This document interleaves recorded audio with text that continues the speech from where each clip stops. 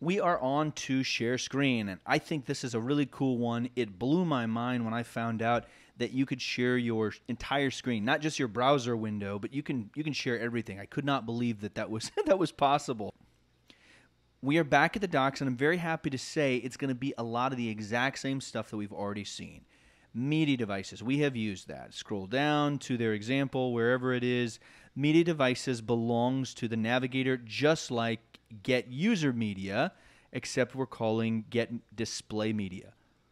And it, says here that this prompts the user to select and grant permission to capture the contents of a display or a portion thereof. So you can pick what you want to actually grab, and it comes in as a media stream. Again, this is a big win. Media stream is what we've been working with.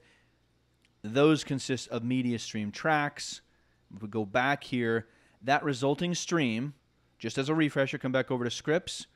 That's a stream right there, right? Get user media, it's just going to be get display media. That stream can be recorded with the media stream recording API, which we just talked about. Right? This thing right here, which I called media recorder API. If you need a refresher, just go back to the previous video.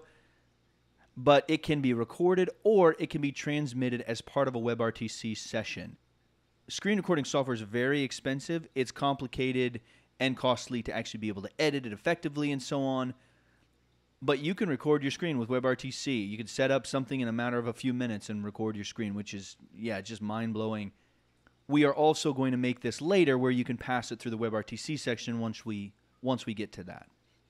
Okay, you can follow this uh, for details and an example, which is a lot more content specifically on the screen capture API. We're not going to be able to go into all of this, and it's just fantastic reading to be able to give you more uh, more insight. Get display media can be called without any arguments, or we can pass options, and we will look at those quick. And I'm happy to say they work pretty much the same way as constraints do in get user media, except there's a few more. So we'll look at these quickly here. Video means do you want to do you want to include video? It defaults to true, so you don't have to provide it.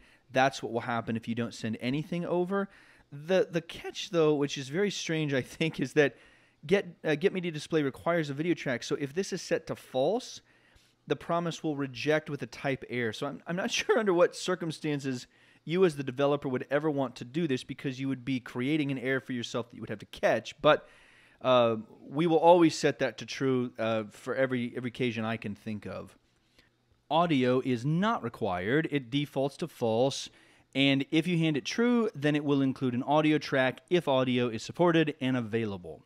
So controller, we're going to hop past. You can you can follow this if you want to look at it. The rest of these are all pretty cool, but they are there's not a, a clear enough spec yet, so browser compatibility will vary. If you choose prefer current tab, that will tell the browser that I want to use the current tab for my screen capture if I choose browser. We will look at this. Self browser surface. Uh, this uh, this tries to avoid the infinite hall of mirrors. So like if you hold a mirror up to another mirror, that's bad because they just reflect each other. So if we are showing a display that's showing a display that's showing a display, we want to avoid that. But this is out there. You can do include or exclude. It may be necessary at time to include. Surface switching. This is uh, really important in my opinion.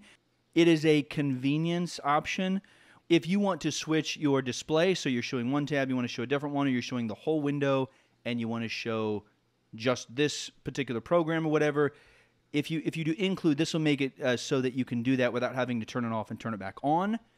And then system audio determines whether or not to include the system audio. Okay, let's hop over and give it a try. It's get display media with options. So in our share screen function here, we are going to do const, we'll call it media stream, because we already have a stream variable, is going to equal await. I skipped over that part here, but if we go down to the return value, it is a promise that resolves to a media stream. Exactly the same as get user media. So we're going to call get display media. This is going to need to be async because we've got a wait here. Media stream is potentially going to need to be used elsewhere in our program. So let's get rid of const. Let's go back over to scripts. And right below our stream, let's do let media stream equals null. We'll say init stream var for, actually we'll do init media stream var for our screen share. And you probably already saw this, but for some reason, I, I copied, I guess, the, the docs there, but we have to go to navigator.media devices. Uh, this isn't a, a function that would be available, so I'm not sure what I was doing there, but anyway, we got that cleared up. For our options, this can be a local variable, so we'll do const options. We will do video true, which is redundant because it has to be true or it's going to fail. We'll do audio false, which is also redundant because it's already false by default. I am going to add surface switching and set that to true uh, just so that you can see what it looks like. We'll try it both ways.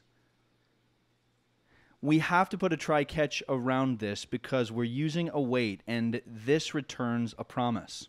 So back over here quick at the top, actually it's at the bottom I believe. The return value is a promise that resolves to the media stream.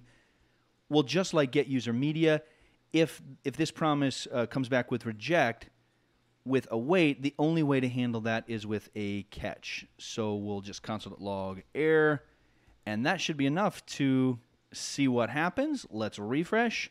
We don't ha even have to share the, the mic and the camera because it's a totally different stream.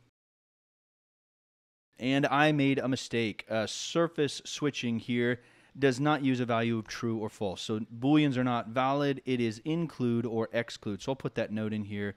Include slash exclude not true or false. So let's give that another try. Share screen and awesome. I again, I can't believe that this is possible with uh, what what do we have here? About ten lines of code, and, and really, it's more like a, it's really just one line of code. But Chrome is giving us a choice of what tab we want to show, and they are live because if I go over to entire screen, I have another monitor open uh, if I come over here, I'll click on, uh, uh looks like my Socket.io class is second here. I'll click on that. You can watch the screen change. So this is this is Chrome in action. this isn't us or JavaScript. We're not doing that great here. But again, incredible. I am going to choose uh, the screen capture API, so that other tab. I click share, and it hops over to that because we want to avoid that Hall of Mirrors thing. And it says sharing this uh, this tab to file that's this window over here because this isn't running in a, in a browser. It's not HTTP. It's not a domain or anything like that. So that's what that means. If you choose View tab, it will hop us back over to that, uh, that tab. Otherwise, we can stop sharing and it goes away. Come back, share screen again, pick another one, share. I just did the mind blow thing next to my next to my head that's all we need to do for now. We're going to do uh, later on a project where we do a little whiteboard sharing, and we will get into some more of, of this, some more of the sharing. As a, as a fun challenge, something that you could do would be to record the screen.